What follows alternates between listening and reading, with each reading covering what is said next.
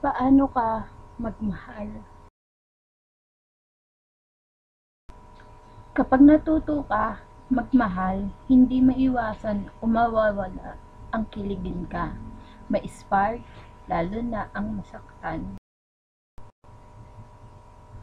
Ang pag-ibig kasi, bigla na lang yan darating sa buhay ng bawat isa sa atin nang di namamalayan. Lalo na pag tumibok ang mga puso natin at mahulog agad tayo sa taong hindi natin inaasahan. May mga relasyon na nagtatagal, meron din panandalian. May mga seryoso at hindi mawawala ang mga taong manlolok. Pag-ibig, minsan, kailangan masaktan tayo para malaman natin kung gaano tayo kahalaga sa isang taong nagmamahal sa atin.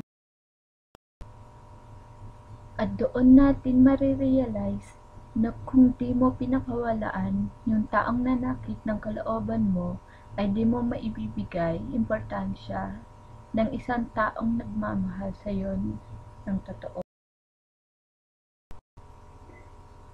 Iba't ibang klase ang pagmamahal. Merong hindi ka mahal pero kailangan ka.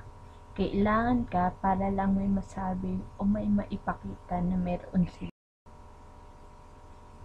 Pero, meron yung totoong nagmamahal na handang ibigay sa iyo ang buhay niya.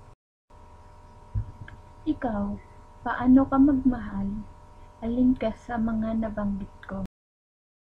Thank you for watching.